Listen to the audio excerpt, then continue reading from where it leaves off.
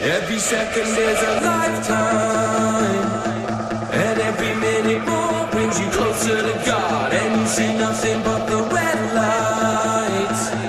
You let your body burn like never before, and it